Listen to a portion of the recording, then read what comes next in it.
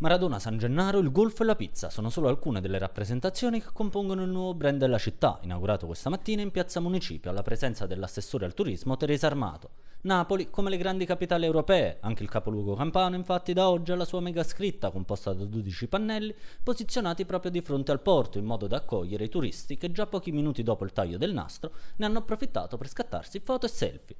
Il progetto, realizzato dall'architetto Marco Tatafiore, si inserisce nella scia delle iniziative di Palazzo San Giacomo per sviluppare il turismo in città. Napoli è già grande destinazione in Italia insieme con Milano, Firenze, Venezia, Roma. Eh, sono le, le, le, le, città che stanno già in rete, sono le grandi città capitali internazionali del turismo, ma sta diventando un riferimento turistico per tutta l'Europa e per tutto il mondo. Questo brand parla ai turisti, a quelli ai croceristi che arrivano arrivano dal porto, a quelli che arrivano dall'aeroporto e dalla stazione e, e, a tutti quelli che vengono qui per ammirare questa splendida piazza da dove si vede Sant'Elmo, il Maschio Angioino, eh, dei palazzi bellissimi eh, della, della, nostra città, il porto, il mare eh, e quindi veramente uno dei posti più iconici.